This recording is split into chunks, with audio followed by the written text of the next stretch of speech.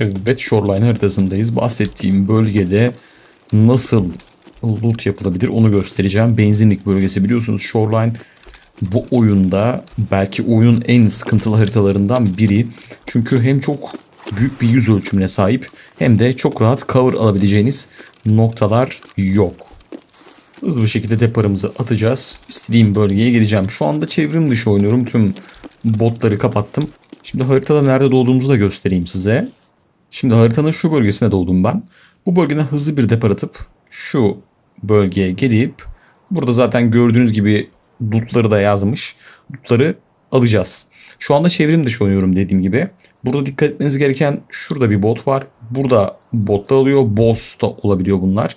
Buraya bazen PMC'ler e, sote yapabiliyor. Ya da şu bölgede e, PMC sniper yatabiliyor ya da şu bölgelerde. Onlara dikkat etmeniz gerekiyor. Çok açıktan gelirseniz bu şekilde gelirseniz de buradaki sniper bot sizi vurabiliyor. Tabi bunların hiçbiri şu an için bizim için önemli değil. Çünkü ben dediğim gibi botları kapattım. Önemli noktalarından biri çünkü çok fazla kişi buraya gelmiyor. Çok fazla kişi bunları tutmak istemiyor. Hem riskli bir bölge olduğu için hem de bölgenin riskinden ziyade dediğim gibi çok fazla bot ve PMC'nin uğrak yeri olduğu için bunu çok fazla insan yapmıyor. E bir de girmesi çıkması şimdi göreceksiniz sıkıntılı zaten. Ya benim Shoreline'da en çok lootlamayı sevdiğim nokta orası. Bir de bir de şurada bir ada var. Şu anda sistem çok net göremiyoruz belki ama bu ada. Adada da gayet güzel lootlar çıkıyor. Orayı da tavsiye ederim. Orası da aslında riskli bir bölge. Gerçi Tarkov oynuyorsunuz. Hani risksiz bir bölge ya da çok rahat oynayabileceğiniz bir bölge her zaman bulamayabilirsiniz. Bu bir Call of Duty ya da bu bir Battlefield değil. Evet benzinliğe geldik. Dediğim gibi şuradan da göstereyim. Burasının şey değişti biraz tabii eskisi gibi değil daha farklı şu anda. Ee, burada dikkat etmeniz gereken nokta şurada bazen bot oluyor. Bazen benzinin içinde botlarımız oluyor. Ve yine şu bölgede bosslarımız oluyor ama sizin aktifliğinize göre de sizin pozisyonunuza göre biliyorsunuz botlar yer değiştirebiliyor sabit değil. Buradaki bosslar buraya kadar hatta buralara benzinin içine kadar gelebiliyor. Yine şöyle bir öneride bulunacağım. Girmeden önce sizin dışınızda girmiş biri varsa şu anda şu baktığım pencerelerden bakabilir ve içeride birileri varsa onları görebilirsiniz.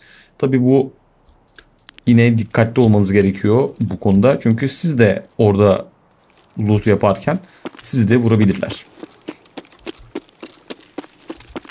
Yaklaştığımızda zaten e, pencere içinden çok daha net görünüyor. Evet. Bahsettiğim bölgeye geldim. Benzinlik. Gördüğünüz gibi buraya girdiğinizde buradan geçişiniz yok. Alevler var. Buradan geçişiniz yok. Alevler var. Kimisi bu şekilde de geçebilirsiniz. Gördüğünüz gibi. Ama ne olursa olsun gördüğünüz gibi ciddi bir şekilde yaralanıyorsunuz. Yaralarınızı sarmak için mutlaka ama mutlaka yanınızda peyniriniz ya da ifakınız, afakınız olsun. Geçtikten sonra yapmanız gereken en önemli şey ilk olarak yaralarınızı tedavi etmek. Hiçbir şeye bakmadan yaralarınızı iyileştirin. Ardından yapacaksanız lootunuzu yapın ve çıkın. Buradan da atlayanlar var. Şu yazar kasanın üstünden atlayanlar da var ama ben çok tavsiye etmiyorum çünkü atlayamayabiliyorsunuz, takılabiliyorsunuz ve sonuç olarak burada çok ciddi bir şekilde alevlere maruz kalıyorsunuz. Şu camdan geçmeniz e, sizin için daha mantıklı ama gördüğünüz gibi yaklaştığınızda hemen ciddi şekilde yaralanıyorsunuz. Ardından lootlarımız, loot sandığımız iki tane var. Bir tane de kasamız var, kilitli kasamız var. İlk loot sandığımıza geliyoruz. Dediğim gibi buradan bana ekran kartı çıktığı da oldu. Ee, güzel tüfekler, güzel silahlar çıktığı da oldu. Size kalmış artık şansınıza kalmış bir şey. Kasayı açtığınızda burada güzel yine lootlar çıkabiliyor. İşte gördüğünüz gibi bir günlük çıktı ki e, günlükte önemli. Rublemiz çıktı. İyi bir aslında para aldık. Buradan iyi ruble e, lootladık. Bir diğer oda burası. Buradan da gördüğünüz gibi az önce baktığımız noktayı görebiliyoruz. Burada yine acele etmeniz gerekiyor. Çünkü odanın içinde kaldığınızda çok ciddi sıkıntılar yaşayabiliyorsunuz. Bakın ne kadar fazla loot çıktığını görüyorsunuz. Silahımızı alıyoruz. Diğer silahımızı alıyoruz. Tabii ben olsam böyle alırım diyeceğinizi dediğiniz duyar gibiyim. Ben de o şekilde alıyorum. Dürbünümü alıyorum. Tutamaçımı alıyorum. Ve benim burada işim bitiyor mu? Hayır bitmiyor. Ben hiç görmedim ama söyleyenler var. Şu rafların üstünde de bazen lootlayabileceğimiz loot objeleri olduğu söyleniyor. Ben hiç denk gelmedim açıkçası. İşimiz bitmedi. Bir de şurada bir yazar kasamız var. Benzinliğin yazar kasası. Orayı da çok fazla yaklaşmadan bu şekilde gördüğünüz gibi hemen yaklaşır yaklaşmaz ateşe aleve maruz kaldım. Orayı da lootluyorum. Oradan da büyük bir ihtimalle rubleler çıkacak. Ve oradan da rublemi alarak gördüğünüz gibi iyi bir lootla aslında tüm çantamı, tüm hücum yeleğimi dolduran bir lootla e, raid'i tamamlayabilirsiniz. Tabi bu size kalmış. Burası çok riskli. Niye çok riskli? Çünkü burada girişte ve çıkışta çok açık, pozisyonda çok açık bir durumda olacaksınız. Ve yapmanız gereken en önemli şey buradan çıkarken şu peynirleri kullanarak canınızı fulllemeniz. Eksik canınız ya da eksik bir bölgeniz mümkün olduğu kadar kalmasın. Burada karar sizin. Son olarak şunları da fullleyeyim.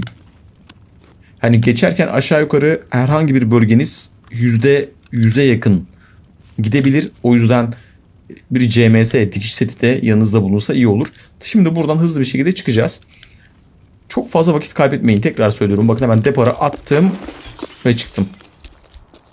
Çıktım. Yine sağlığıma bakıyorum. İşte gördüğünüz gibi %50 kadar gidiyor. Tekrar söylüyorum. Bazısı buradan koşarak o depara atıyor ama yanlış çünkü eğer yükünüz fazlaysa zıplayamayabiliyorsunuz ya da dönüşte yeni yükünüz fazlaysa buradan e, tekrar benzinliğin bu bölgesine zıplayamayabiliyorsunuz. Ondan sonra zaten buraya çıktığınızda yine dikkat etmeniz gereken şu bölgeler keza şu bölgeler çok ciddi açık bir pozisyondasınız. Evet video bu kadar. Ee, çıkışa kadar videoyu kaydetmeyeceğim. Kendinize iyi bakın. Hoşçakalın. Ve bunun gibi videoların gelmesini istiyorsanız like atıp yorum yapmanız bana yetecektir. Kendinize iyi bakın. Hoşçakalın.